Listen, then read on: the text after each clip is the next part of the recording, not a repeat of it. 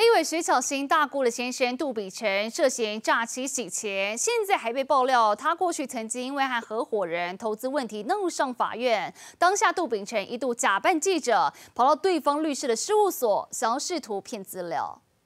我个人的职务，我有权调查你们告诉人江先生。从事地下洗会律师事务所内，杜秉成拿起员工证，想强调自己有背景，是网媒新闻记者，受到检察官指示要来调阅被告资料。但律师面对不速之客，也没再客气。那你来代表谁来干嘛？代表新闻，你说嘛？我代表你自己代表新闻啊。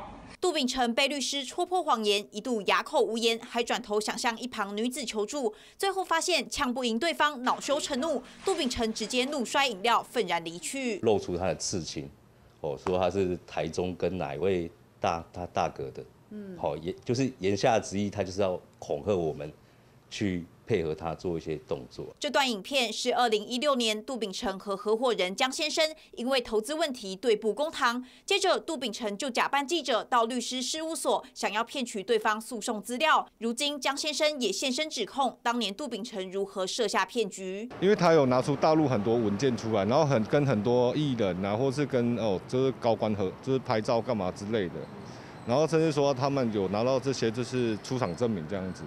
我才会相信他。江先生说，前前后后投资了一百万，但杜秉成给的资讯和实际获利不符，不止拿不到获利，还一再被他要求再补股金，因此合作了五个月，江先生份额退股，对簿公堂。啊，就讲你没欠我钱，啊是这种是欠我钱嘛。然后第三场官司的话，现在在诉讼中，然后我不知道说是不是真的受到政治的迫害，所以我现在官司还是寥寥无几啊。